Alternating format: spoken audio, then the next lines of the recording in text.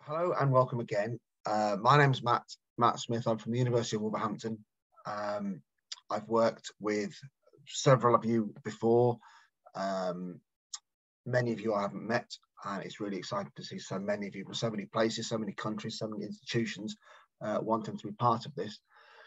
We'll come back to this at the end, but one of the things that we really want to do, this came out of uh, an idea late last year about putting together a, a, bid, a funding bid to create a set of writing workshops uh, for people basically like yourselves, people who are interested in, in research, in learning, in communities, in marginalized communities, in disadvantage, and in uh, supporting other people to get to um, well, supporting you basically to get to full academic publication. And many of you already have and, do, but I know it's it can be more difficult uh, for some of you.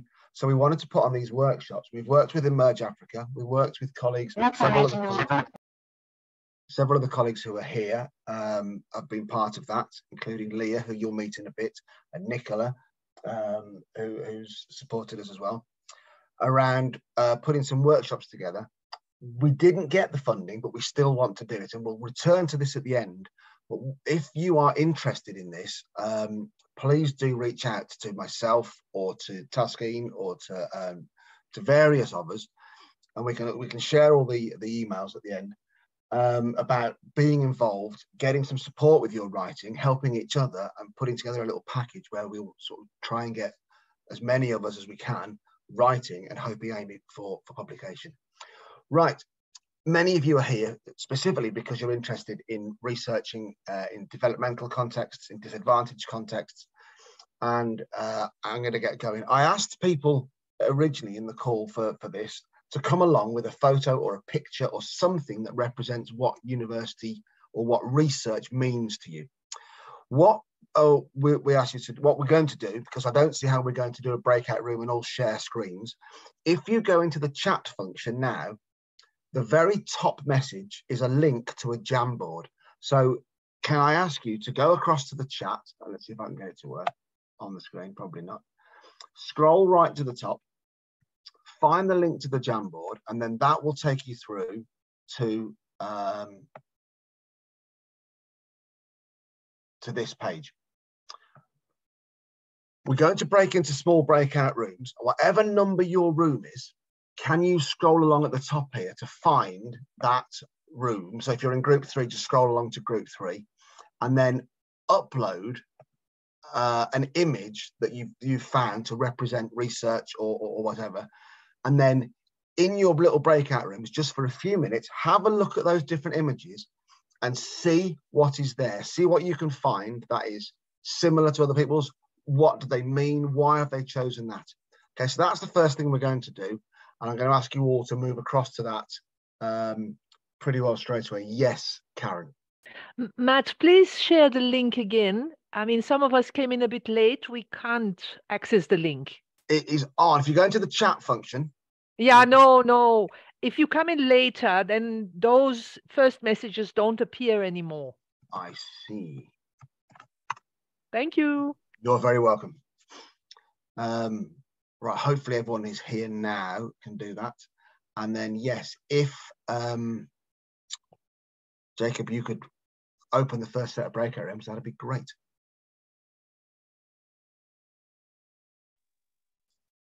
All right, I'll do that. Um, just hang on.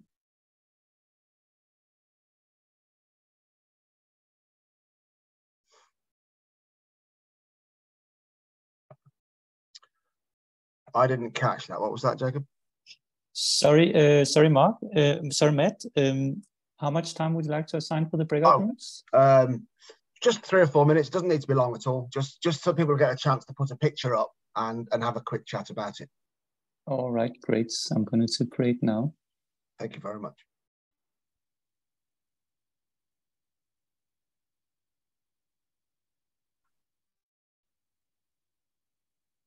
Mm. So for those who are asking, uh, an image, if you you know maybe you've got one in your your um, on your phone or you've got one on your, your, your desktop somewhere, or, or you can just find one, but an image that represents to you what research is and what it looks like and what it means.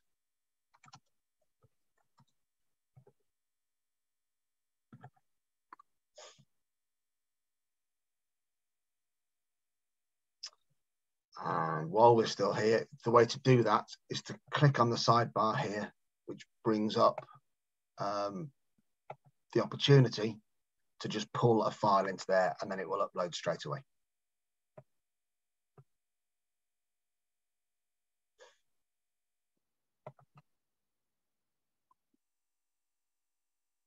Um, sorry, Matt, I'll be on just two minutes here.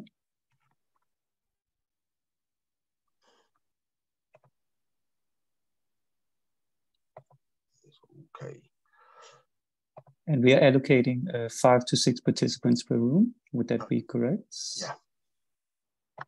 All right. That seemed remarkably swift, those five minutes. Um, and we've already, some people have dropped out, hopefully not because they couldn't uh, join in. But anyway, let's crack on. Um, oh, hang on.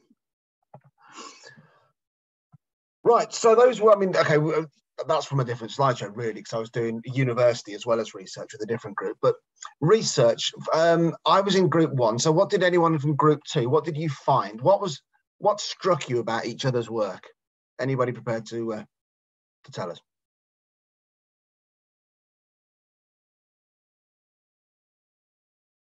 I think the groups are just getting back.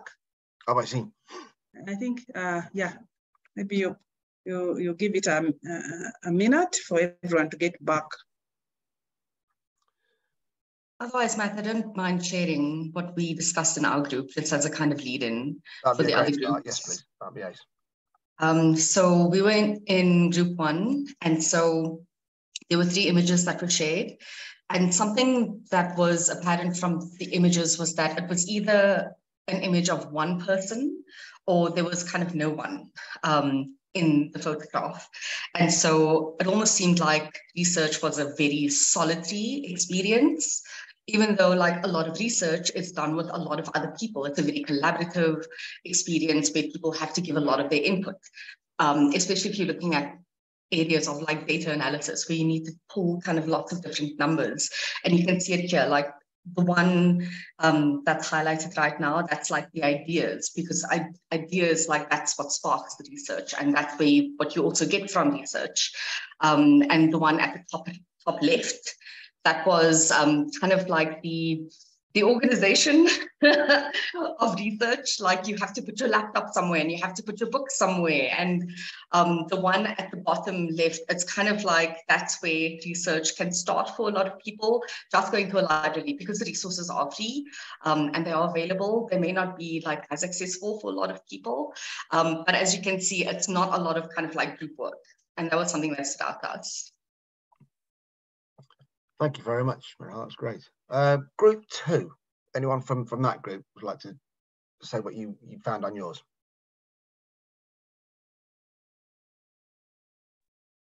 I I couldn't get a picture on mine. It was just refusing to add. But just following on from, is it Murray? Um, uh, what you were saying is mine did have a group of people uh, on it. Uh, it was a group of disinterested uh, young people uh, that that summed up research to me a little bit in in education that I'm very enthusiastic about them, but I'm not sure how enthusiastic they are about me and uh, and research.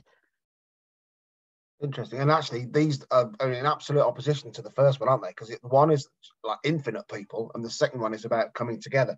So that's that's really fascinating. Um, it's not in any way that we were saying that these are bad images of research. It's just the first thing that struck us was that it was like that solo, that aloneness, that, that singularity. Whereas this is all about togetherness, which is fascinating. Um, there's just the one image. I know there's two images. I'm lying. Um, so I presume that's about listening. But anyone from group three prepared to just just give us a, a quick overview?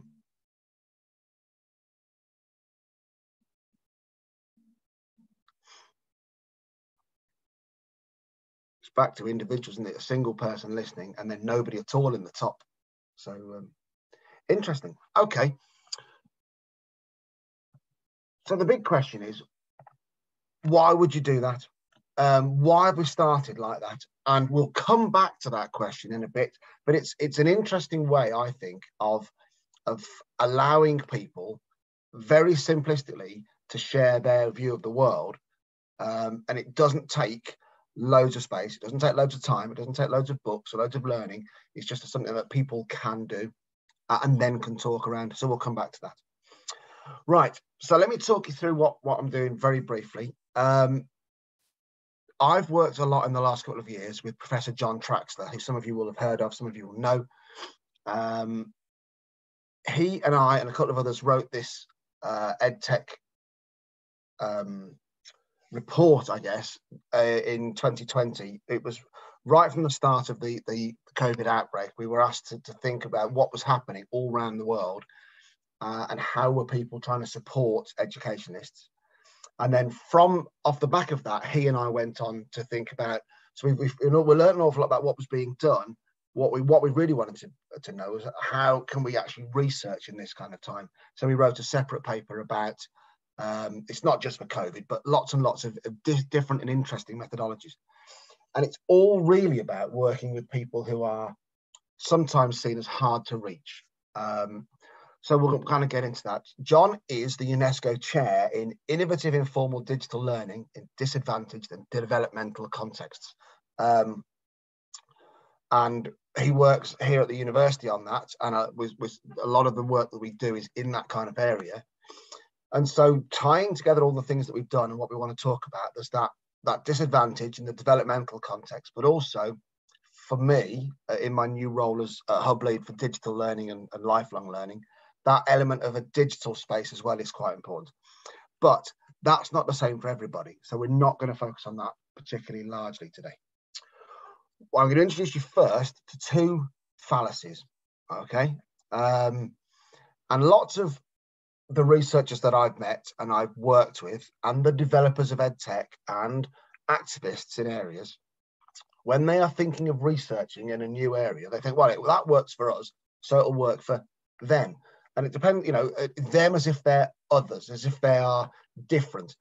And they might be different from who you normally work with but that doesn't mean that things are going to be uh, totally different but it also doesn't mean that just because i've used this particular product really successfully in i don't know um, with the, the deaf and hard and hearing community doesn't mean it's going to work equally well in uh, a different physical disability um, grouping.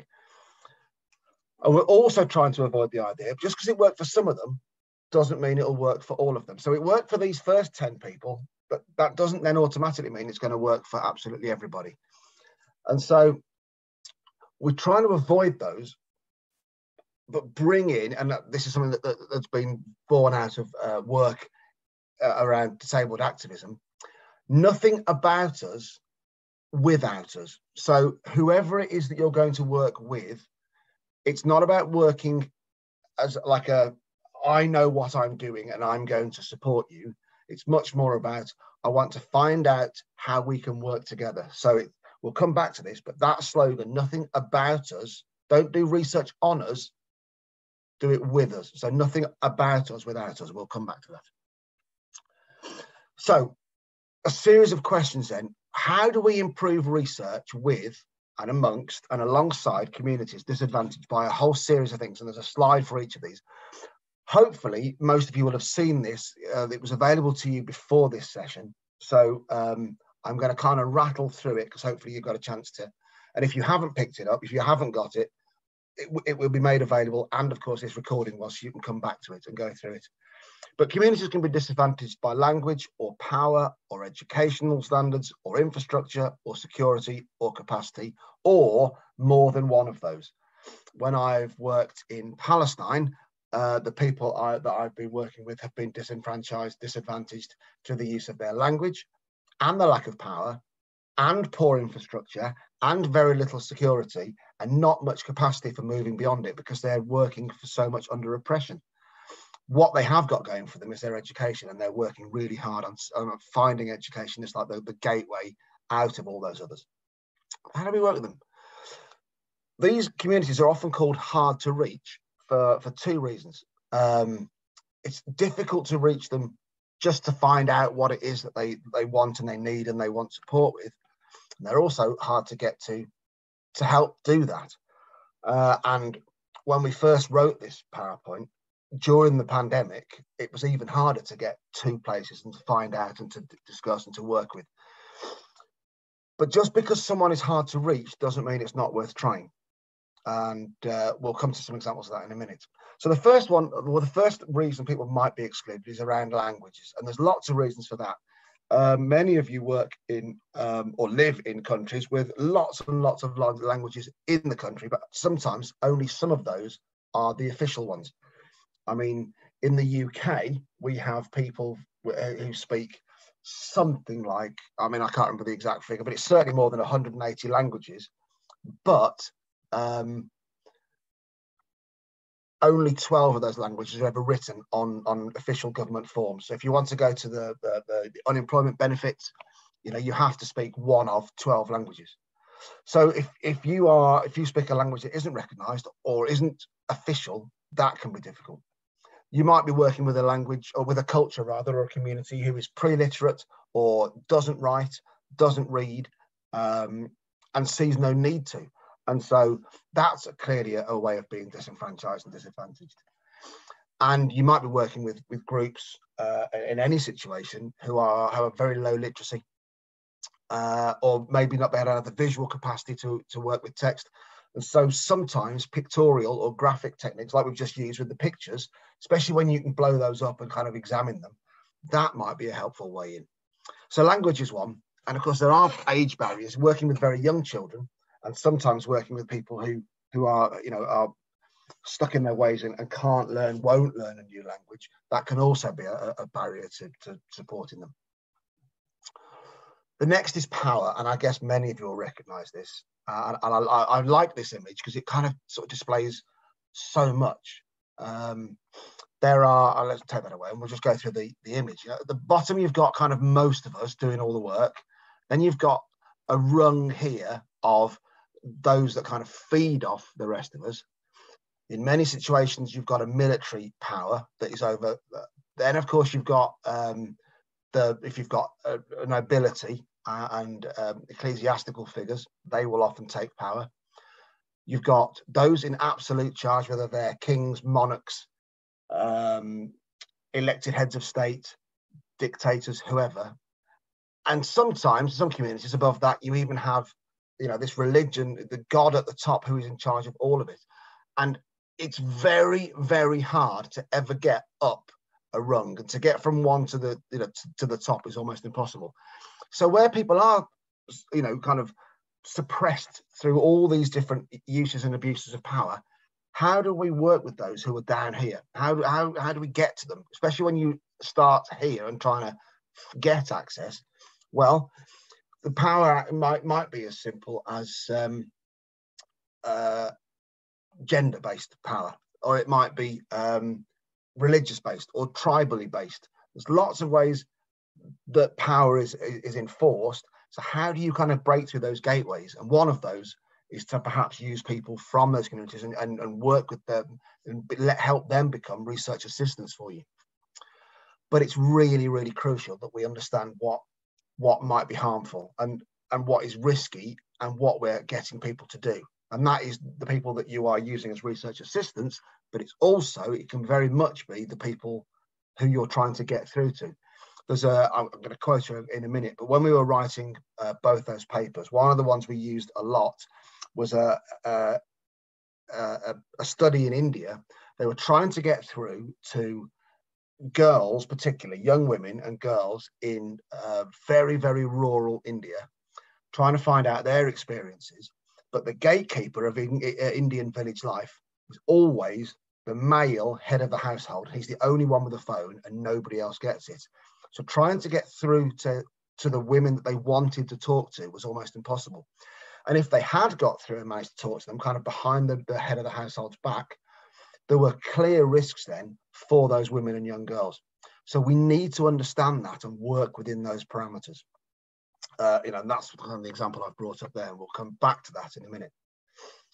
The third reason people might be um, oppressed and, and, and disadvantaged is through security. And there are situations, uh, you know, and I'm sure you, you can think of, of plenty of examples just off the top of your head. Uh, obviously, you've got places like Ukraine, you've got what's now happening in Sudan. There's all of these areas uh, around the world where people are being forced out. There's military actions, you know, and, and some of you will be, have been unlucky enough to have witnessed or experienced that in your own countries. So how do we work with these people? How do we find out what their real needs are? We can guess, you know, we can assume what their needs are, but to really know is going to be difficult. Um, but there's a growing body of people that are working in these areas, like the Red Cross, the Red Crescent, the uh, UN uh, HCR, the UN uh, RWA, the um, I can't know what it stands for, I top of my head, but they're very good. We've worked with them in Palestine before. But it, you working with those those NGOs and those kind of those, those larger organisations may support you in your research in understanding it. that works in this situation. That's been tried here. Can we adapt elements of that? Can we take the best bits of it and try and use it in this new situation? So that's always going to be uh, something that you can try. Uh, that, that isn't the right place. Um, so I've given you quite a lot there. Um, we're going to come on to some of the ways that we can. I've given you a lot of the problems. We're going to come on to some of those potential solutions. But Jacob, can we do uh, either the same or different breakout rooms about just so people can have a chat about what have they seen so far that helps describe who they work with, uh, the ways they work, um, the communities, the, their situations, the contexts, the cultures with whom they, they, they, they are researching or want to research. Be great. Again, maybe five, six minutes, something like that. Not too long, just so people get a, just a bit of a chat because I'm aware time's already against us. Uh, but it'd be really great if we could um, break out again, please. All right, Matt. Uh, I think can I uh, just recreate the same rooms? I think. Okay, welcome back. Um, would we like to, to feedback on that? I think it would be useful because we had a really interesting discussion in, in group one. I think um, let's work the other way. Um, for some reason, there weren't as many in group three, but anyone anyone in that group, uh, anything worth reporting back to us all?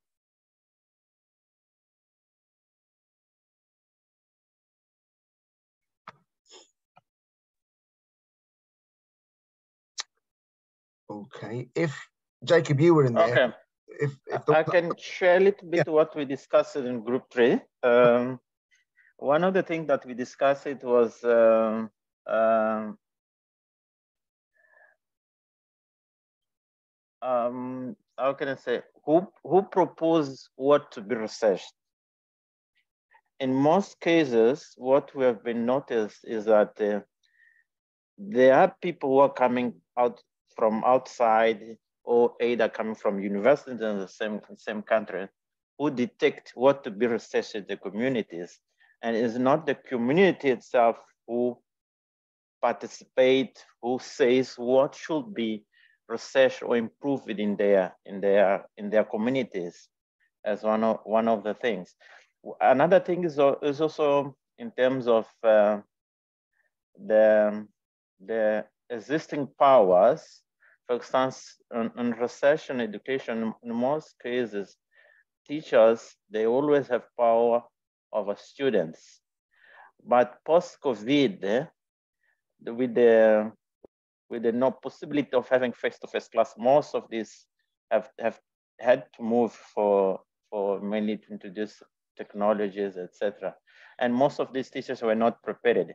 And they were afraid to show that they were not prepared to their own students. So uh, in terms of uh, continuing delivering classes using now ICT means. Brilliant. So there's two really important yeah. things there, aren't there? One is that going back to one of the very first slides about research shouldn't be on, it should be with. You know, and it's it's not for necessarily university professors, researchers to say, I can see a need in that community and I'm going to go and it is about working with that community about what would they like. So that that is a, a really important kind of um, reinforcement of that message. And the second one, that that one about teachers having the power, that is true. And one of the things that powerful 21st century pedagogy should be aiming to, to overcome is some of those power barriers. It should be, learning should be more horizontal and not so vertical. We should be learning together, learning from each other. And I mean as students and teachers, not just as, as different um, countries and communities. It, it should be about crossing boundaries and allowing students to bring their understanding, their perspectives and their knowledge into the classroom. And the same is absolutely true in this research context. Your participants, those communities you're working with, should be in the driving seat at least as much as the researchers. So that's brilliant. Thank you very much. Uh, group two, anyone from group two? I think there there was some discussion that we were having about who decides who is disadvantaged. Um, and and the problems with that how do you you know how do you label somebody as that as an as an outsider and, and assess who's you know that that power balance um that, that i think that was mainly at the heart of the uh, conversation but um i don't know whether anybody wants to step in and and say a little bit more about that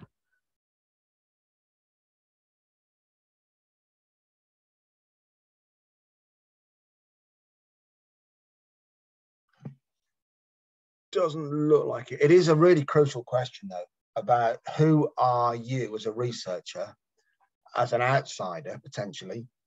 And certainly, if you're working from a university and you're working with someone that you perceive to be disadvantaged, there will be an imbalance in things like um, your salary potentially or your status.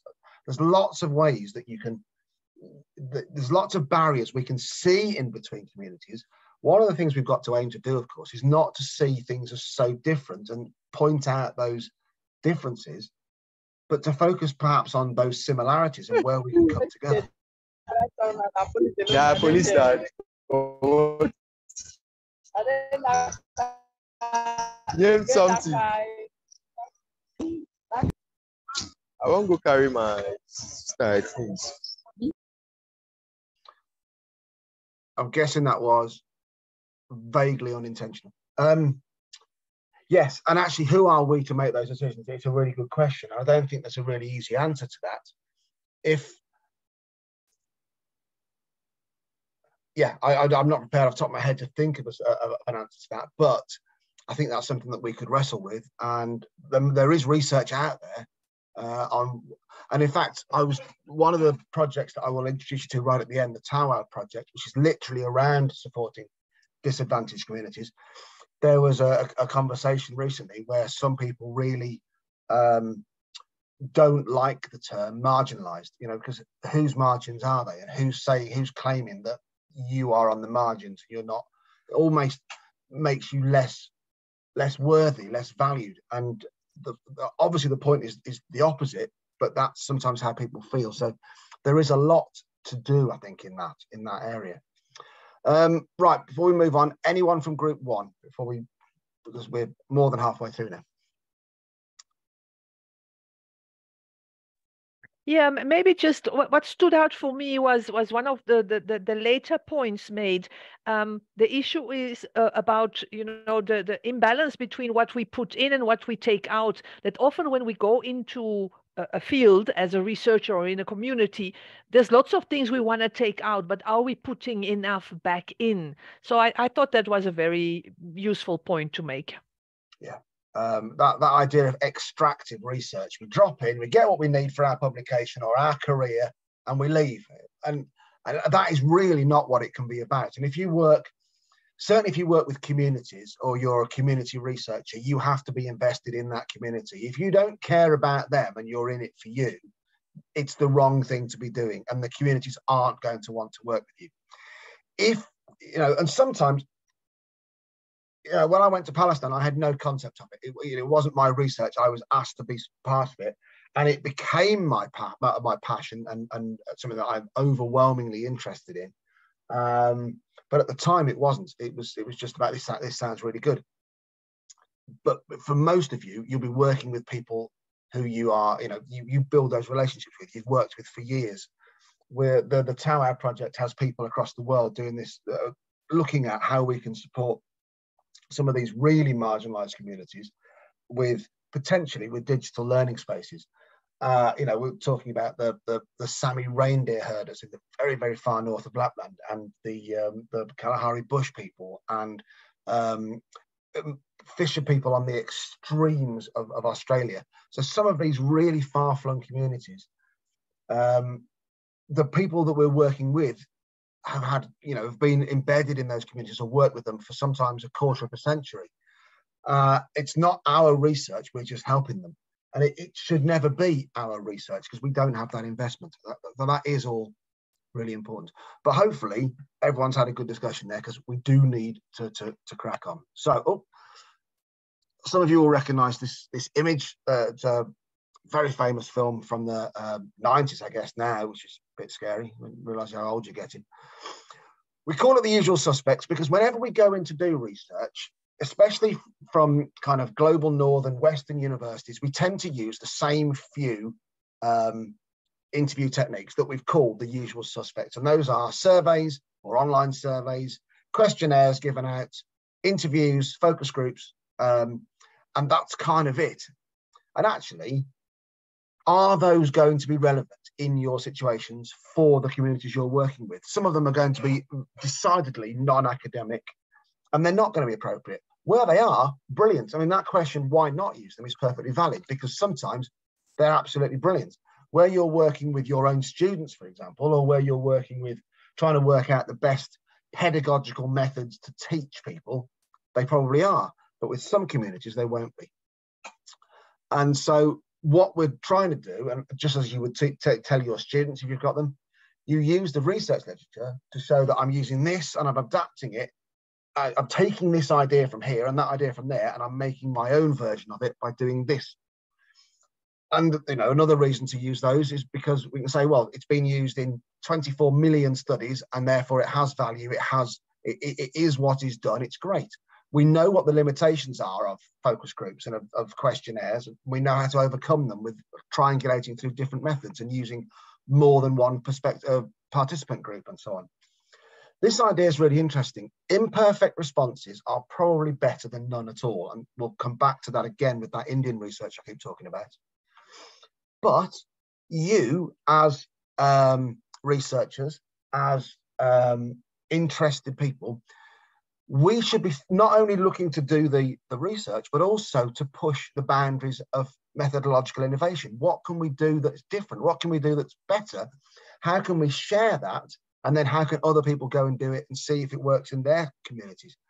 So if we find a really really fantastic technique to work with um, a marginalized community uh, in i don't know burundi can we take the elements of that the, the best bits of that and pull it and try and use it in uh, el salvador? Will will it go you know will it cross countries? Will it cross communities? Will it cross languages are there elements we can, you know, and, and that should be part of what we do as researchers, as academics. However, if those are not appropriate, that kind of formalized interview, which can be very, very scary for someone who's not, you know, from an academic background, how can we do it more gently, more appropriately, more um, participatively for the groups we're trying to work with? And this section, I'm going to try and offer a series of potential solutions, many of which you probably come across, but um, hopefully, some of them you might think, oh, that sounds brilliant. I might give that a go. So different different types of knowledge might require people to ask different kinds of questions and to get at answers in a different kind of way. And then here are a set, set of questions for you. How do we know if it's a community that we're not part of, no matter how close we are to them? How do we know when they some, when they don't bother saying something because they think it's not worth it or it's just that's what we do here. Everyone knows that. Do we know that when we're researching on these people, with these people? We have, might have a feel for the game of what education is, or what digital learning spaces are, or what what we expect to find out, but that might not be the same as the people who are actually embedded in the situation. So that they give you, I love these phrases of John's, front of stage, backstage, and understage. So the front of stage are what they tell you on purpose uh, I want you to know this, and I'm going to deliberately tell you. But their backstage thinking may be very different. They might not, they, they give you that, and you've all, many of you will have heard of the Hawthorne effect, where they tell you what they think you want to hear, but that's not what they're really saying. And also underneath the stage, what are their their actual paradigmatic worldviews that give them those words, give them those feelings and those thoughts. How do we know that? How can we how can we know and how do we report it? And a lot of that, of course, is about having that huge knowledge of the community, working with members of that community over years. And there's this role of culture within the limitations. Um, what's a performance? What are they acting up at when you're observing them? What are they doing? And they're doing it more or less than they normally would. And how truthful is their self report? We can never know all of that. We can only report what we find and what we see and let others decide for themselves what level of veracity they give it. But it is worth, you know, when you're coming to write anything, to think about the limitations and how you've attempted to overcome them, but be mindful that they are still there and we can, you know, I've already talked about some of these. We can triangulate methodologically by doing some interviews here with their the headman and the top villagers, and we can do uh, a survey potentially with groups that have worked with this group before. So some of those NGOs and those uh, maybe even governmental agencies, uh, teachers that have worked with that group. Uh, we can look at uh, interviewing and focus groups and different ways of doing it. So you're triangulating, triangulating methodologically, but also uh, perspectively by these different opinions on something from the perspective of simple version, um, someone on authority. Um, so let's put it in a school because it's really obvious. So a senior leader, like a head teacher or a principal, and then the teachers, and then a focus group of children. So you've got lots of different perspectives on it. So you're triangulating that way. There's corroborating across multiple sites or with multiple researchers or uh, you know multiple longitudinal visits. You can pilot and you can use peer review. All of those things will support. Okay, great. So how? Let's get into it. Um, every community, however we decide to define it as being marginalised or indigenous or disadvantaged or whatever it is, they are surrounded by and embedded in unique social and cultural circumstances that are you know completely unique to them. There are nuances that are the same as, as in other places but they will be they will be different. There'll be environmental cultural historic linguistic traditional values understandings and they will be different okay and all that needs to be um, borne in mind to the best of our ability so we cannot just take this research from there and do it there. It won't work. It won't have the same effect. Um, so the idea of the refugees and similar crisis situations, whatever is happening, whatever happened in that horrendous scenes, uh, what about a year ago, when America left, well, when America and the UK left Afghanistan, and those horrendous scenes in Kabul. What can we take from that? And is it relevant to what's happening right now in trying to frantically get out of Sudan?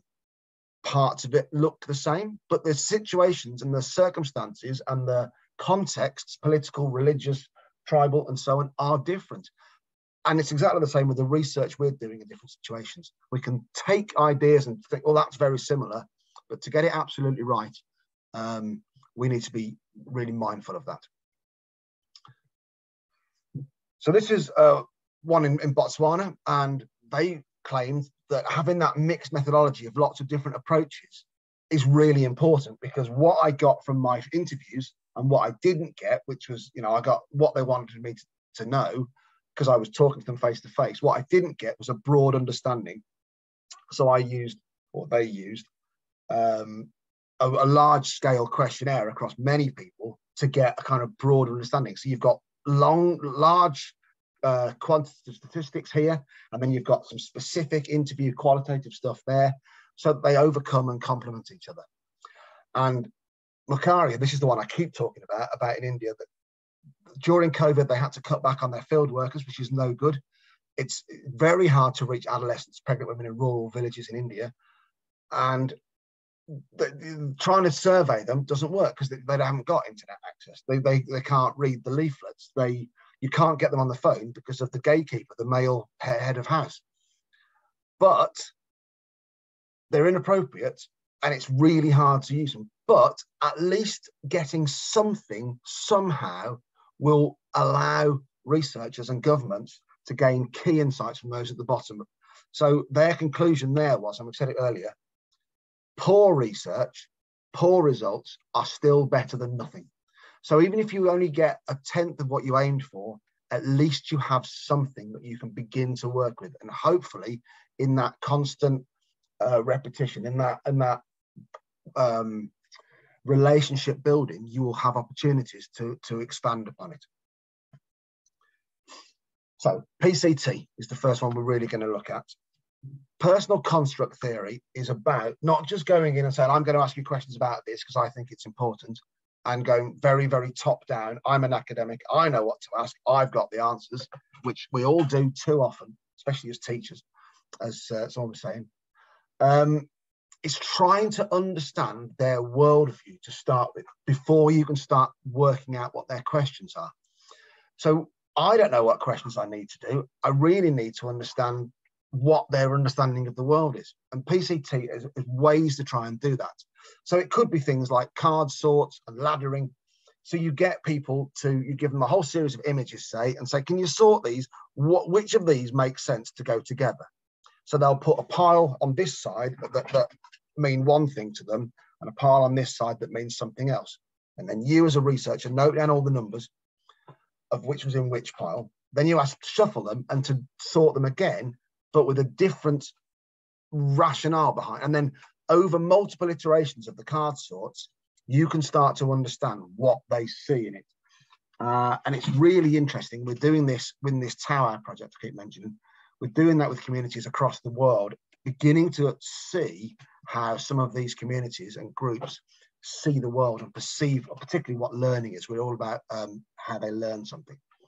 Laddering is a similar thing, but you you build a more sophisticated system. And I haven't got time to go into it, but it is worth looking at. Q methodology is a, a kind of an up, upgraded version of card sorting, where you have more cards and you arrange them from the most realistic, and then you move out in series of, of, of less and less and less. You agree with it less and less. I don't like Q methodology very much because it's a bit too mechanistic and a bit too uh, mathematical.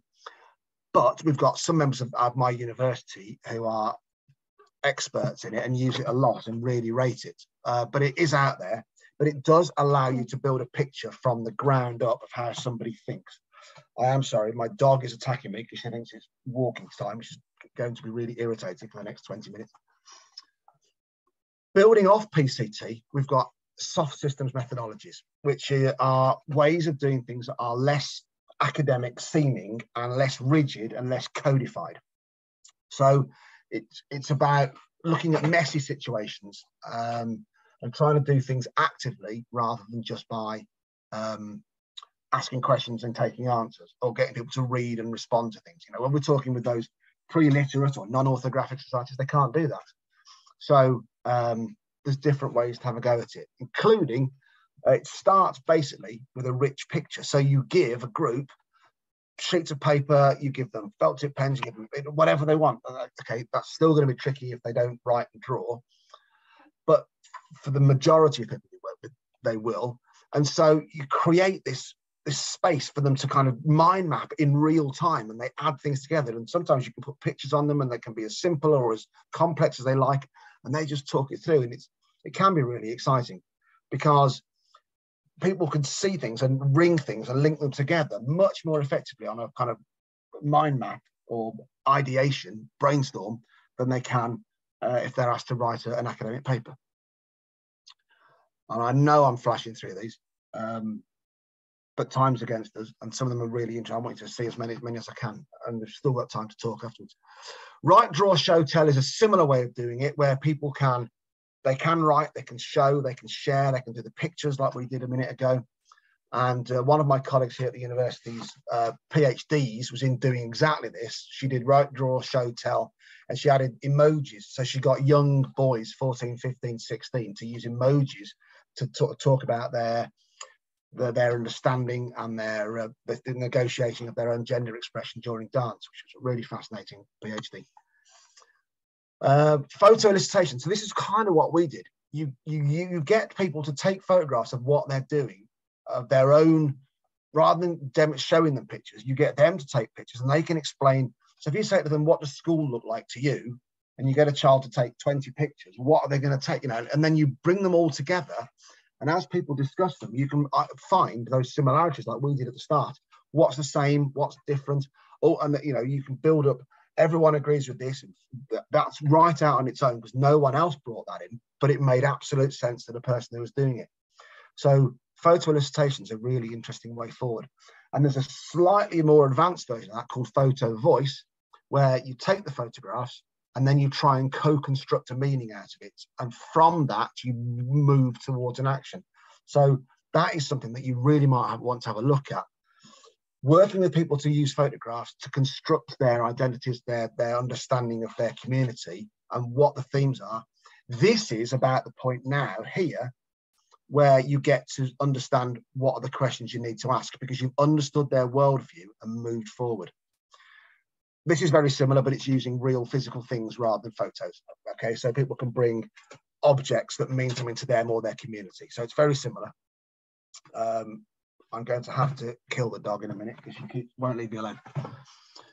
Um, there are other visual methods that are, you know, just allow people to do things that aren't the normal that we, you know, that most of us, you know, if you're teaching your students research methods, you teach them about interviews and, and so on, but actually collaging, filmmaking, getting them to make their own films, which is a one step up from taking their own photographs, it, that reduces some of the power relations because you hand it over to them. You cede the power to your participants and then you when they bring it back and explain it to you you accept what they've given you. And that is a really powerful way of doing what Jamo was talking about and not having you having all that power. Right. I went through that extremely quickly and i know time is limited but i would like jacob um, uh, sorry jacob another quick breakout where we can talk about which of those seem any use, how can you see yourself using it, can you see yourself using it, um, and then we'll come back a, um, for about two more minutes from me, and then I'm going to pass over to Leah when we come back, if that's all right. So another five minutes doesn't seem long enough when you're doing it, but that's all the time we've got, I'm afraid. All right, uh, thank you, Matt. Uh, I'm going to uh, to open uh, um, the rooms now for five minutes. Brilliant. There's one more group who are yet to emerge from their little group.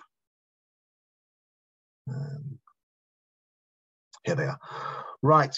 Um, now, apologies, I can't see the chat function while I'm sharing the screen. So uh, apparently someone put in there, like they, how does this relate to decolonizing? Really and truly, because uh, yes, a lot of the things we've talked about are are just research methods. The the really key issue that um, one or two people have picked up or said they've picked up on is that idea about ceding that control back to the research participants, not saying, I know what I'm researching, I know what I'm going to ask you. It's not even that, you know, it's very easy as researchers and, it, you know, certainly as colonial researchers to go in, I know all the answers, I know what I'm doing. And that's not true at all. What we need to do is to, to go in with that kind of humility to say, I don't even understand what questions I need to ask. I need to understand your world and I want you to tell me what your world is and you can help me develop the questions that we can look at. So it really is about not going in with the answers, but be, being prepared to to learn a huge amount. And hopefully that's what's what's coming through. I want to finish mine really quickly because I know that Leah's also got a bit that she can talk about in terms of collaborative research, which is important. And some of these I'm going to skip over because you've got the slides, but it is important. Um, decolonizing language is going to be important. So we don't want to keep on using the Western, you know, words and, and phrases for things, but to understand how other people view it. That includes worldviews. It's got to be culturally and linguistically appropriate. We're back to that key phrase, nothing about us without us. Um, it's we don't want it to be hierarchical. It's about empowering those who are at the bottom of that pyramid. So it's collaborative, it's participative, it's flat and peer to peer. We're with and among.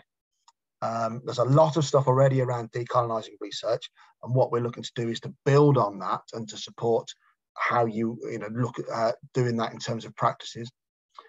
Um, okay, so that, that's all there. um, we can't, we can't, governments can't or shouldn't just do to, they need to do with, and the same as us as academics. Uh, understanding locality and culture are crucial. And obviously, I can't do that. If I came to work with any of you and any of the projects you were with, I would never presume at all to, uh, to tell you how to do it or to, you know, it would be a, a case of really getting to understand who you're working with and how you're working and and work with you potentially to um, to develop whatever it is you're doing. There's a whole slide more stuff. Some of it's really interesting about online discussion. That depends on your, you know, the the infrastructure and the people you're working with. Wear wearable cameras, like all sorts of stuff. Okay, that we could talk about, but we don't have the time. But the conclusions are, I really hope you found something. You think, I that's really interesting. I could do that. I'm, that's really interesting. Uh, and a lot of that stuff, if you want more, you can get hold of me, or there are other ways to do that. This website is the, the project I've mentioned several times, the towwow.org. On there, there's all sorts of stuff around decolonizing research, around some of these methods. Um, there's a version of this PowerPoint on there. There is a whole some videos about card sorts for some people who are interested in that in my group. So there's loads. So please do investigate that, and you're more than welcome to get involved with us. Um, and I just there are some questions here that are interesting that would definitely be worth you taking back to your communities and to your academic communities, and and have discussions, have sensible um, and um, powerful discussions around that. How do we try and reduce, or how do we try and avoid reproducing the power hierarchies? How do we try and get to all the voices, not just those, not just the tribal spokesperson, not just the head man, not just the community leader that we got a lot of here in the UK, but actually, yes, that is a, a, an important voice, but it's not the only one in the community. How do we get through and underneath? So there's some really useful questions there that I would urge you to think about in your own research. And we're not going to do that because we don't have the time. But I, I said this at the beginning, but I want to make it absolutely clear. If you would like support with writing towards academic publication, please get hold of us. I, we would really love to put on some writing workshops and to have to receive some of your writing in between, to share it out amongst each other so that we can kind of peer support. Or, you know, and, and you know, it's not about a power hierarchy. I know how to do it, and, and, and this person does. It's about, oh, I, you know, it would be really power, more powerful if you added that. Why don't you think about? And you could do that as peer groups, and also we would drop in a few sessions around um, certain bits and pieces. If you're interested, let me know. Let us know. Um, go via Emerge Africa or Taskeen or myself. But those are something that we really would like to put on if you are interested. Okay, and then the next five slides are all the references I've used. So I'm going to stop. You'll be thrilled to know. Um, and I'm going to hand over uh, to Leah, who's going to do just a little bit, I hope, about collaborative research. Uh, and then perhaps if we've got time right at the end, we can break out and just talk about tying all of that together. So collaborative research, um, decolonial, well, some of these methodologies and so on. Uh, but I hope you've enjoyed um, or found useful my part in it. All right, over to you, Leah. Thank you very much. And I'll look at the chat in the meantime. Uh, thank you, Matt, and uh, good evening, everyone. Thank you so much for joining us in this session.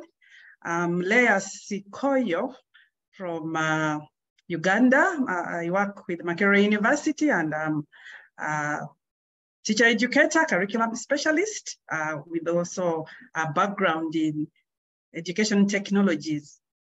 So I was invited to this session together with my colleagues and I'm so excited that uh, uh, Alice has been able to join us. She had a family situation, but she's been able to join us.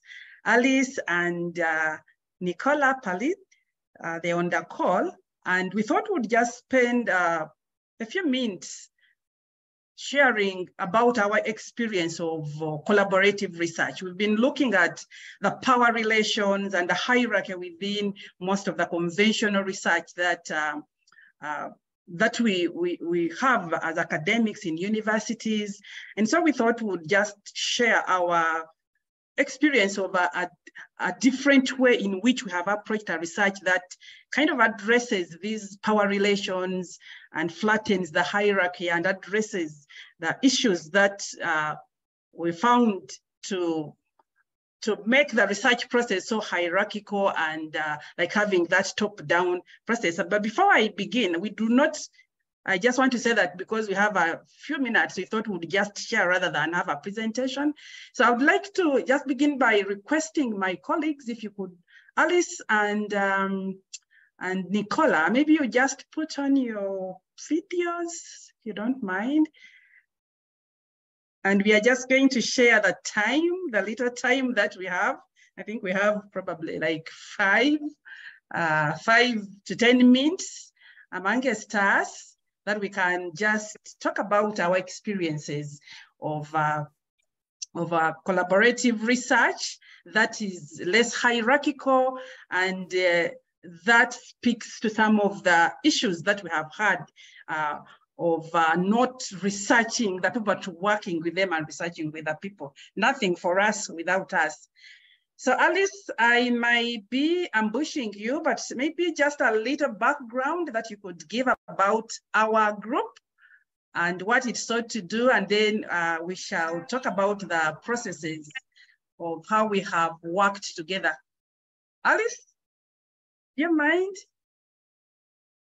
Leah, can you just take that ahead? I'm still chasing okay. a visa here and the phone just went off. I'll oh, talk to you now.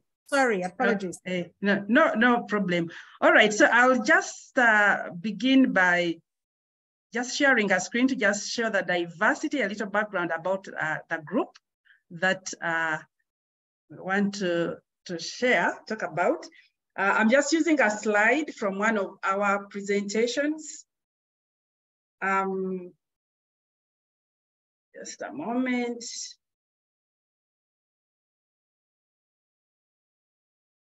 Yes, so uh, the group that we are talking about is uh, referred to as the International Research Collaborative of Established and Emerging Scholars. And who exactly are we? So this group uh, that is referred to as the International Research Collaborative for Established and Emerging Scholars uh, in Educational Technology is a collaboration of a group of researchers in Africa and in the in the US. That and it is a group that is being piloted by Emerge Africa and the AECT. So this is a group that was put together to support uh, researchers that are researchers and practitioners in educational technology. And we have a group of us from diverse backgrounds that have been working together for the last uh, four years and so that is just a, a group, uh, uh, what our group is all about, developing a research community to support uh, educators in technology, education technology, as well as practitioners. And this is a group that comes together from different contexts. We have uh, different backgrounds academically, the context in which we are. Uh, for example, just a moment. Uh, that is our group. So we have uh, seven of us, and we are all interested in supporting historically marginalized and underserved learners. And uh, we have uh, Alice, we have Hannah, we have uh, Nicola, Leah, we have Neil and Pram. And these are coming from two continents. So we have our colleagues from US, that is Hannah, and and and uh, and we have Christy. Then we have Alice and Nicola, who is on the call, and Alice. We have Neil. We have uh, uh, Nompilo and Leah, who is speaking. And we all come from different backgrounds, even academically. We have different, sorry, some background noise. We have different uh, academic backgrounds. We have different, even our contexts are different. And of course, the, the, the geographically where we are located. But we have been working together in a way that uh, breaks the, the kind of hierarchy that we are talking about. We are put together as a mentorship group. So we had uh, those who were supposed to have been the mentors in educational technology who are like more uh, advanced. Uh, and then there were us, the novices who are beginning scholars, but with an interest in educational technology. So uh, we began to think about ways in which we would work together because originally it was supposed to be like a top down kind of way of collaborating.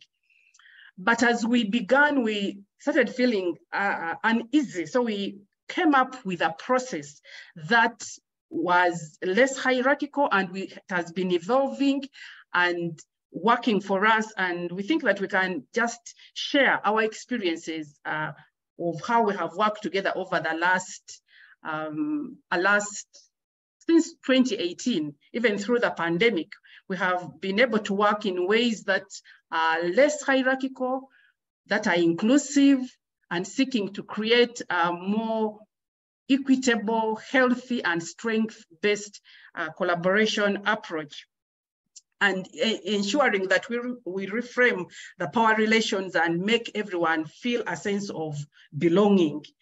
Uh, at this point, I'll just uh, request uh, Nicola. Nicola, are you there?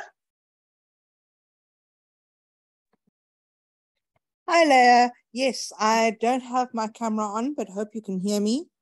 Yes, if you could just, just speak about some of our ways in which we have worked in a way that is less hierarchical, that breaks down the, the power relations and how we have developed this approach.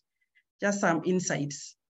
Yeah, sure. So mm-hmm. one of the big things I think with we we resisted that mentee mentor like relationship and we decided to go about things differently in our group.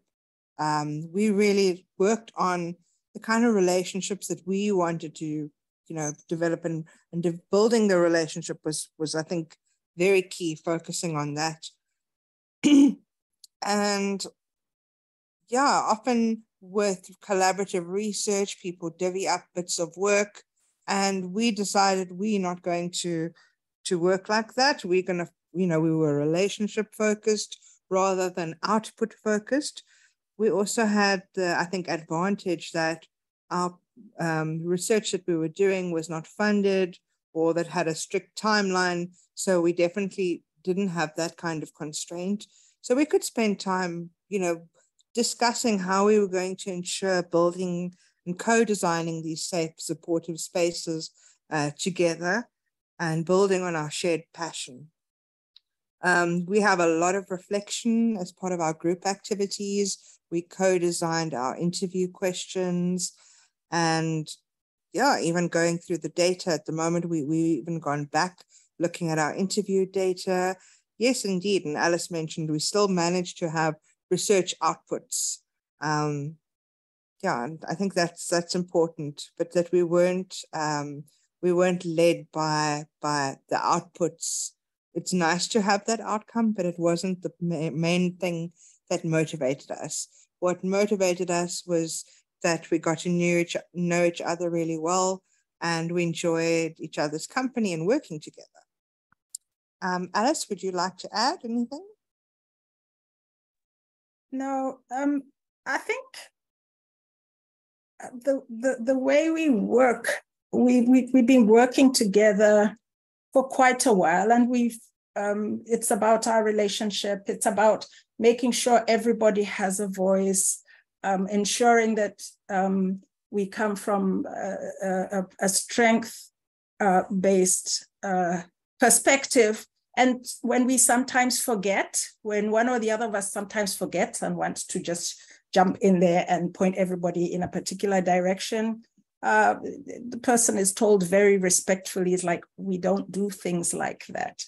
It's been a very steep learning curve uh, for us, but we are working so well together that despite living in different geographies, different time zones, having different jobs.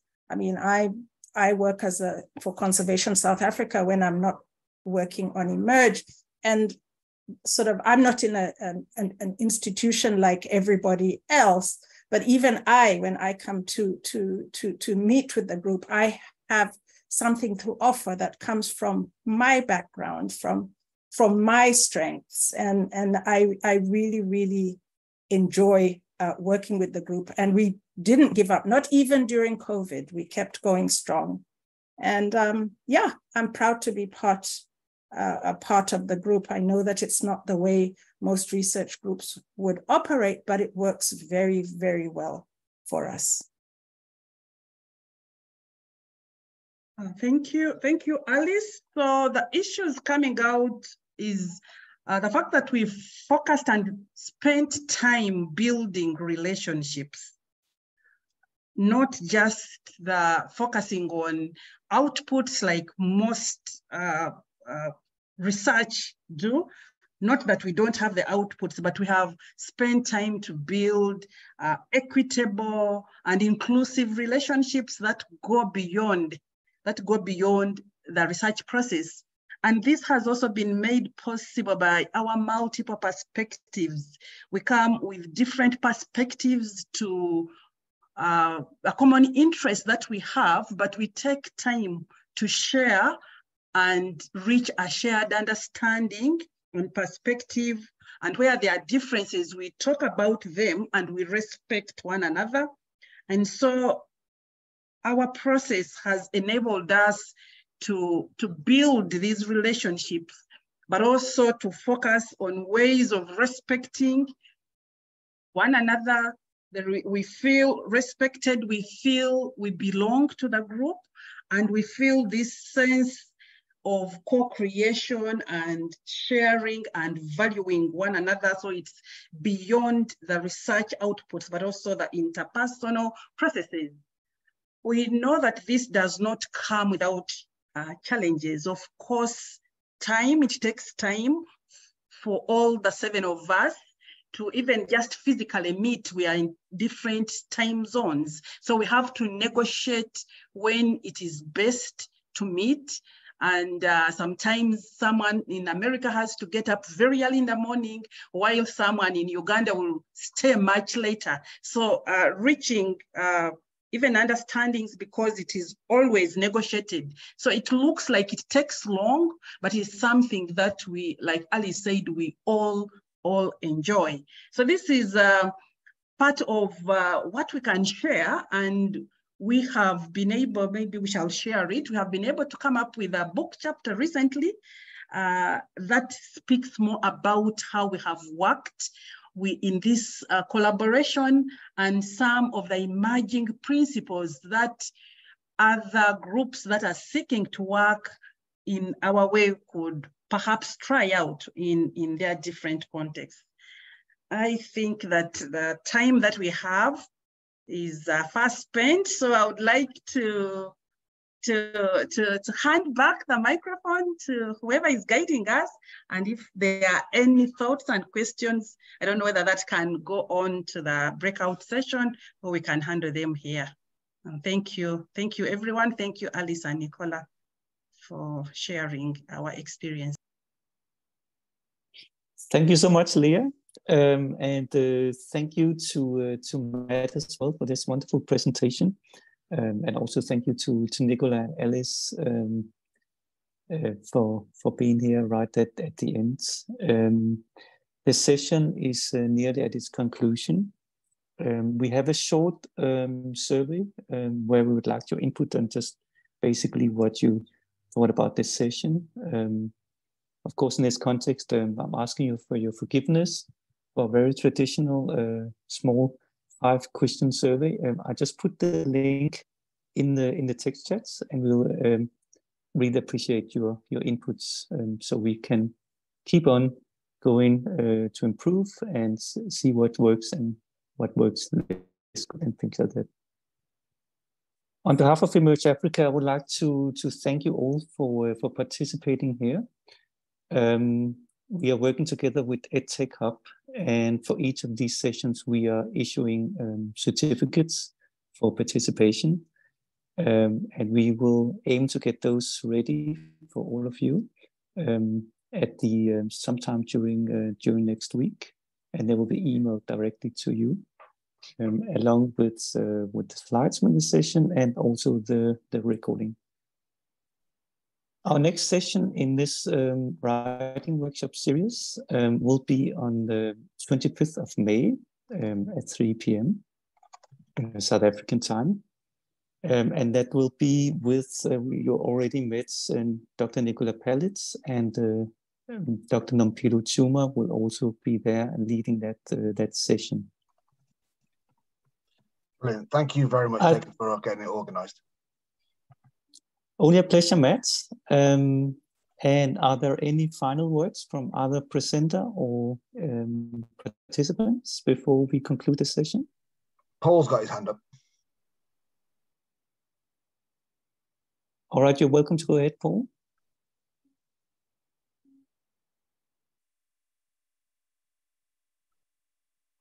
Or you're welcome to speak with the voice if you're able to.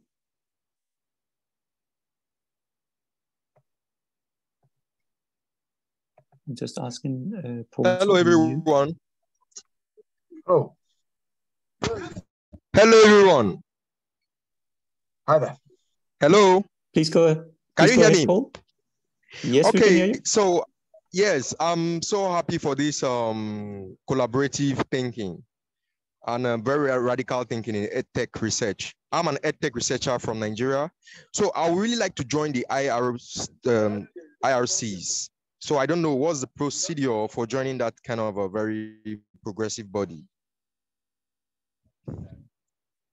There, there is an answer to that in the um, in the chat. Um, Okay. uh, so I mean that's one thing you can uh, have a look at. Okay. Okay. Okay. Okay. Thanks. You're welcome. Um, and for everybody else, uh, thank you for being here. Thank you for being part of this. And um, if you'd like any more information on uh, either dollar decolonizing research, or if you'd like to um, to join a writing group uh, to have some support with writing, please get hold of one of us um, through Jacob or through me or Taskeen. Any of that would be uh, great. Yes, and as Taskeen has just said, there'll be another email soon with details of the next session. You'll get access to the slide deck from this one and the recording, and then the uh, participation certificates if, if you desire. That would be lovely. Thank you ever so much for your attendance. I hope you've gained something from it, and we look forward to the next one. Take care. All Thank right, thank you. you all. Thank you.